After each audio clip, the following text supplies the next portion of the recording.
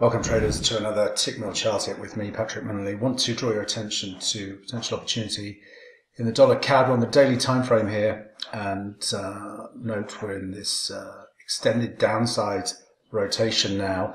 We have the monthly, weekly and daily volume weighted average prices all bearish. Got a nice outside rejection candle on Friday. We consolidated within the lower range of that candle uh, during the morning session today. I'm looking for a break now through the lows at, uh, at 125.20 into the US session and looking for a downside extension to ultimately test uh, descending trendline support and monthly range support down to 122.62 and I'll be using a protective stop just above uh, the overnight high of today.